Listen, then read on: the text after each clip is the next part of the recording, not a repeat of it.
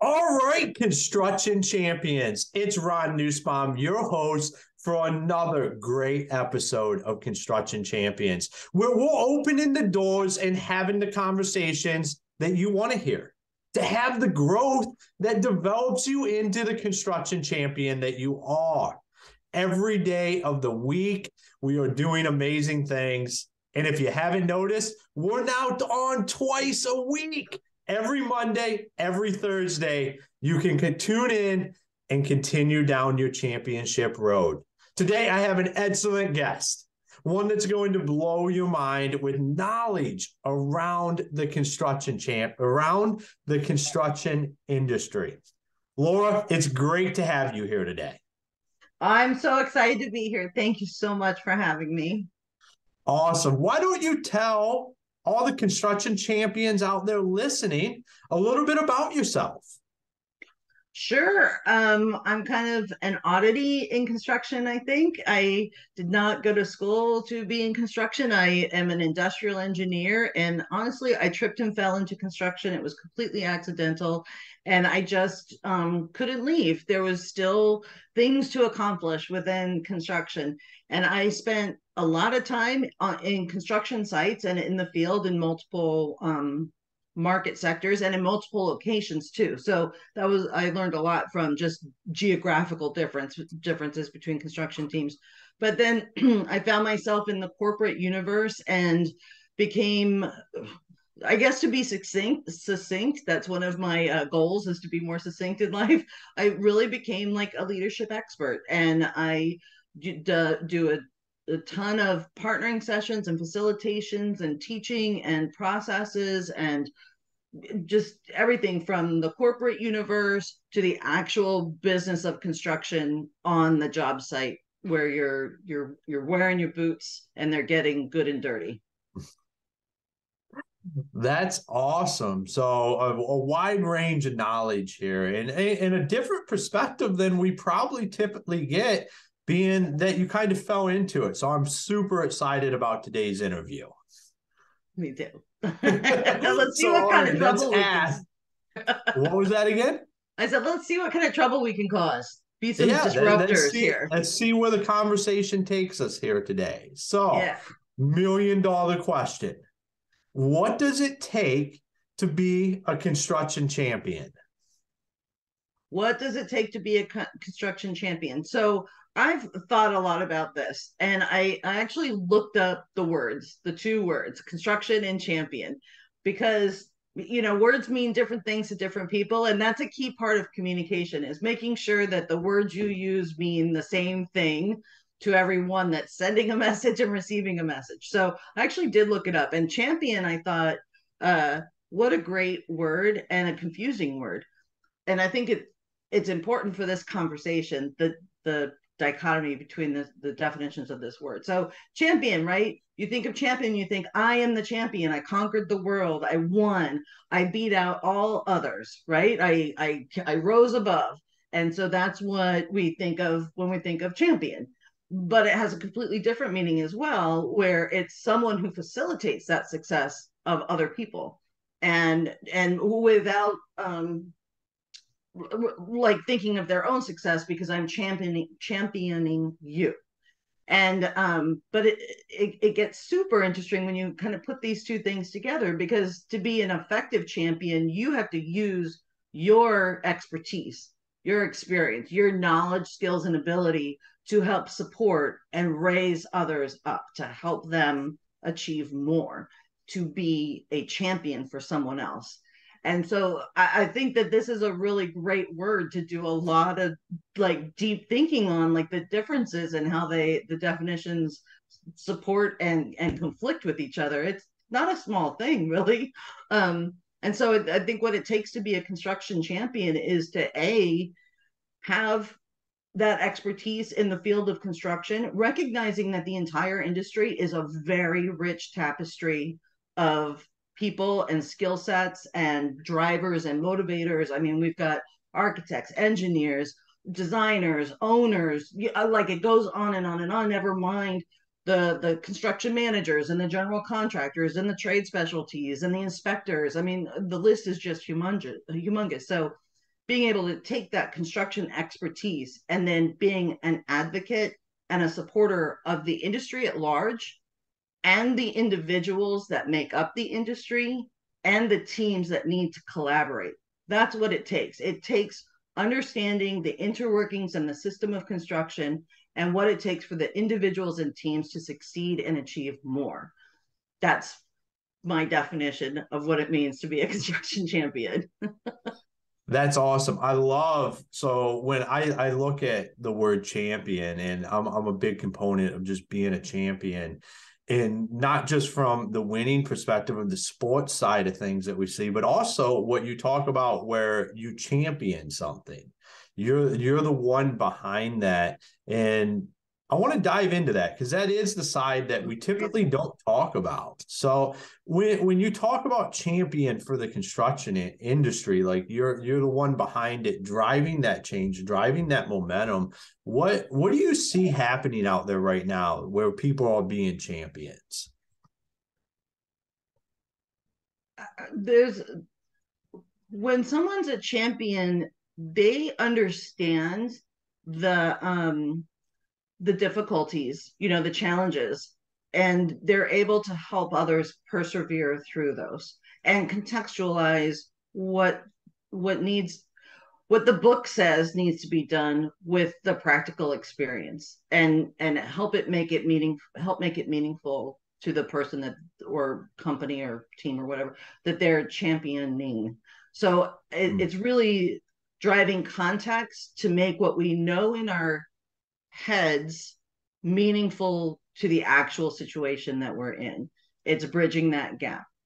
And uh, I think that that's that's really what it looks like. It's that's kind of ambiguous, but con- success in construction is ambiguous too. Every site is different, every team is different, every requirement is different, the weather is different, every everything is different, and we achieve more when we're able to use acumen, which I define acumen as the ability to respond to change. So a champion helps facilitate others to respond to change because of their expertise, knowledge, skills, and abilities. Yeah, absolutely. And being that you're you're a leadership expert here in the construction industry, I do I do I have I have a question about that and it kind of stems from what we were just talking about is we find all too often in construction like it, it's hard when that that new leadership comes up or you, you're working your way through those ranks. How how do you become that champion to be able to help that leadership move up through the organization? What what are some of the keys that you're seeing that people are utilizing that are making that an easier process to develop leaders within our industry not trying to just bring leaders in from outside so to me, it begins with day one, and even at day negative 10, when you're bringing in interns or you're doing outreach to high schools and you're supporting uh, overall, you know, STEM academics and and helping people experience going, getting people interested in construction and engaged and excited about building things and building it doesn't have to be actually putting the bricks and sticks together. It could be building the ideas or the design sparking that that interest is where it really begins i, I think. And I, I i get on a little bit of a soapbox on the topic of when should leadership development start? And it really chaps my hide when um, i hear well managers of xyz level and above we're going to give them leadership training and and my skin just crawls because we need to be looking at the long-term sustainability of our industry and the people within our industry. And um, in my opinion we need to be developing leadership skills. And really if we call them people skills from day one because that's what they really are there are management skills and there are people skills if we're developing that we have a mindset that that is what is going to build my pipeline of successors in a successful organization that is going to get, get us to excellence because we've got to be able to share institutional knowledge. That means lessons learned. That means what worked what didn't work. You know does this policy still make sense? And um, does it not? And what can we get rid of? How can we be more lean and mean and all of that stuff? It begins day one. And um, and that's how we do it We we, we can't be we we need to stop looking at title as uh, uh, the key to getting through the people skills and leadership development door. I, I think we shoot ourselves in the foot all the time when we do that every single time. When I'm teaching leadership for the first time to foremen and superintendents who are out there leading every single day, where the money gets made, where the money gets lost, where people get hurt or are safe, I get really irritated. Like, this is your first leadership class. This is your first mm. communication class. How is that possible? They're the most important parts of our industry, and we spend the least amount of time helping them build, giving them tools so that they can build those people skills as well as the building. I could go on. well, yeah, they're the ones out running the job sites. They're the ones out quality assurance, making sure things are happening. So, w- what's an effective way from day one to be able to start implementing leadership change, or, or as you had said, minus day ten? What what are some steps that we can do to start to to be better at this? Well, well I think that the you there's language is important and if we're not exposing people to a plethora of ideas they're not they're you know that that saying you don't know what you don't know hmm. we that's where we need to start we need to be g- giving opportunity creating opportunity for getting exposed to multiple situations multiple tasks multiple projects multiple challenges and and multiple ways of thinking so that people can start to build a base of experience and a base of language so that they can become they can explore more uh, be curious and actually dive deeper and look at what um, excites them and they want to become experts in. And i mean just something simple like like communication. Here's a word that everybody thinks they know and yet it is still there was a, a I think in 1991 maybe even earlier than that iowa state university did a study three major causes of failures on construction. Number one cause was lack of communication. The second one was scheduling and then the third one was planning. And over and over and over again you keep hearing people touting that yeah communication is the number one problem on construction. It's like yeah no duh. It's been published for decades through empirical study and yet we're still really bad at it. And I think that um, one of the reasons that we're really bad at it is that we forget that communication is a two way street. It's not enough to send out a message, that's transmitting information. Communication, the loop is complete when you have confirmed understanding of that message.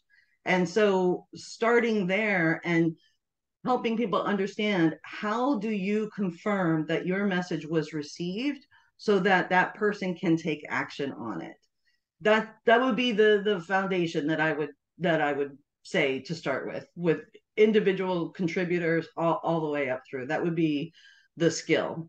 And and then followed very closely by communication styles and personality styles because if I approach you and I say hey Ron here's a boatload of data. Let's talk about it you're gonna be like huh? But if I say hey Ron how are the kids this weekend? And you say, yeah, yeah, yeah. Okay, now let's talk about the information. Like there's two different personality styles going on there. One doesn't want to be bothered with the, the personal question, and the other one is going to be offended if you don't ask it first. So those two things like go together. A, understand what communication actually is.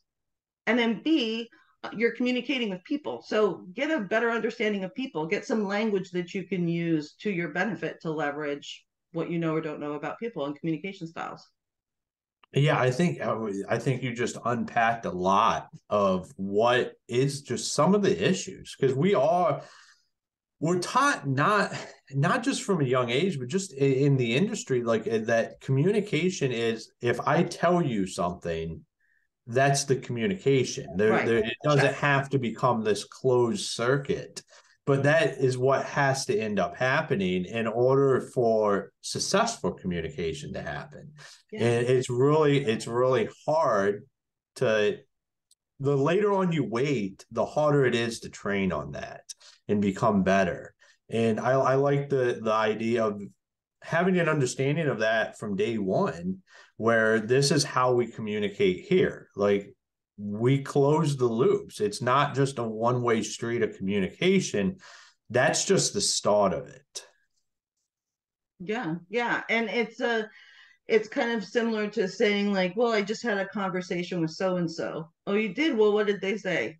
And then you think, well, wait, they didn't say much. Well, why? Because you weren't having a conversation. You were having a monologue, right? So the difference between a monologue and a dialogue, like, it lives there. Yeah, and then understanding those personality types. I mean, that's I think so key. And, and not only the ones around you, but understanding yourself and what personality you are, I think is a a great attribute that we should spend more time on helping our people understand. Like this is you, this is how you communicate, this is how what drives you. What are your thoughts on that? Well, I am a great advocate of um, and i do a lot of teaching and a lot of seminars on communication styles because it it's the foundation for it. And i think that really sometimes we get a little too academic about our thinking like um, I, I can't get the phrase emotional intelligence out of my head when we talk about this because emotional intelligence kind of seems a little fluffy and but really it's being able to assess the communication styles of what's going on and how people are reacting and behaving and the emotional drivers of that and then be able to respond to it right in a, in a way that kind of moves things along. And so that's kind of where the rubber meets the road with emotional intelligence. But without understanding communication styles and to your point you, your own but i think it's important to understand your own so that you can better assess how the people you're interacting with are are responding so that you can nudge what needs to happen so you can keep those channels open and and people's minds open. You know i often say that um have many meetings i know you've been in a trillion meetings like i have you know one of the rules of conduct is always like keep an open mind. Well, okay that's nice to say but what does that mean? And so i always say well the first thing that you can tell that your mind is closing is when you start to get defensive. The moment you start to feel your hackles rise and you're getting defensive that's a cue, an internal trigger that your mind is now closed. Now you're not listening and absorbing anymore. You're you're you're preparing what you're going to say, right? Your rebuttal. So when you start to really dive into communication and personality styles, if you're able to say, "Oh wait, this kind of these kinds of words or this kind of style kind of put me on the defensive." If I can move that trigger out of my way, then I can keep my mind open longer, which means I'm listening longer, which means I'm processing longer, which means I'm better able to ask open ended exploration style questions rather than just like, but, but, but, done, mm. do it, don't care, get, get through it. So th- there's a there is a lot there. There's a lot to that onion. well, I think what you just said is really really powerful not just for a employee relationship, but also a customer relationship. We, I, I feel all too often, and it's kind of a, it's a society thing, is we're very combative. Instead of like collaborating and coming together on exactly how can we make this work in the different perspectives, is we become an automatic reaction is to become combative. Like you said, you shut down. You're you're preparing your defense before the case has even been made. And mm. I believe we should go into stuff looking at it as how do we collaborate and make this better? Like, how do we make our end users or how do we make everybody in the construction industry, all employees or our customers, how do we make it a better experience for them instead of how do I win right now when actually we're losing? Yes, and that gets into, you know, one of the the key things that leaders do is they build relationships and trust. And um that whole combative piece, that's I in my opinion, that is a symptom of a lack of trust. And that's why the topic of trust gets so important because if we're always combative, then we're totally not listening, we're totally not collaborating, which by the way means we're not innovating either and we're not constantly improving because those are not you, you can't do that in a combative environment because you're in survival mode right and mm-hmm. survival mode is just survival mode. That's not getting better. That's surviving. What's the phrase? We're surviving, not thriving. So the the whole idea about you know how do you build trust well first you have to make sure that that you share core values and principles that you ultimately want the same thing uh, regardless of the words you're using right and once you can understand that that everyone in the room ultimately wants the same thing we want everyone to get home to their families safe and healthy we don't want to damage anybody when they come onto our job site. So if everybody agrees to that and they're all coming from there, well, that contextualizes a lot. Everybody needs to make enough of a profit to keep their business going and be sustainable, right? So that's where people are coming from. People want to come from a place of having integrity and being honest. And so, well, if that's true, then even if you're fighting with someone, you can say, listen, are we fighting for the truth here? Because we both want it and then that means that you can start to make inroads now we all know that not everybody cares about being honest or have any integrity and if that's the problem then you have to ask do you do you agree to be in business with that person the next day or agree to be on their team the next day or in that company the next day but I, I really think that that gets back to why it's so important to have a shared mission a shared core set of values, a shared set of principles, because it makes that combative nature easier to overcome. If you all ultimately want the same thing in the end, then what are you fighting about? The how to get there, not the destination. You're not fighting about the destination. You might be fighting about are we going to turn left or right, but we're ultimately all going to the same place. Yeah, and I think we uh, not losing sight of where we're headed, what that end goal is, whether it's a peer-to-peer conversation, a leader to an employee or an employee to a leader or to a customer, making sure that you keep that vision of where you're headed in sight so you can work together and not have these combative situations. Yeah. because nothing's nothing's always easy. Nothing never just goes how it's supposed to go. There's hard conversations that has to be had but having them bringing up these emotions understanding that these are emotions people have and then addressing them are so critical to how we communicate with each other on and off a job site. Yeah and you know construction hates talk about emotion because we, we just don't like it. But really paying attention to emotion they're like symptoms that can help you diagnose what's broken in the process or the system. And you know when somebody's frustrated if if your worldview is that everyone wants to do a good job right? Everyone wants to succeed. The cup is half full they're not out to get me like if that's your worldview and you're dealing with someone who is frustrated then sitting back and saying okay well why are they frustrated what are they not getting if i believe that they want to do the best they can do every single day and they're frustrated, that means that something is in their way. And me as a leader or as a manager, it's my duty to figure out what that thing is that is in their way and do everything I can to eliminate it from being in their way. And sometimes, you know, you have to, you know, suck it up, buttercup.